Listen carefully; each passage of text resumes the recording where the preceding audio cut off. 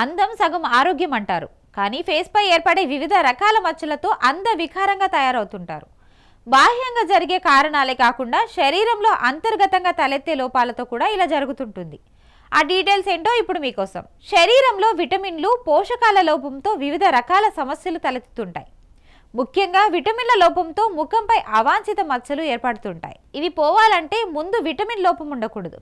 Vitamin C అనేది స్కిన్కి ప్రయోజనకరం. Vitamin C collagen ఉత్పత్తిలో దోహదపడుతుంది. విటమిన్ సి పుష్కలంగా ఉంటే ఏ విధమైన మచ్చలు ఏర్పడవు. విటమిన్ సి కొరత పూర్తి చేసేందుకు ఆరెంజెస్ బత్తాయి ఉసిరి నిమ్మకాయ జామకాయ తింటే మెరుగైన ఫలితాలు ఉంటాయి ముఖంపై మచ్చలకు విటమిన్ డి లోపం కూడా కారణం. ఈ సమస్యను దూరం చేయాలంటే పాల ఉత్పత్తులు చాలా కీలకం.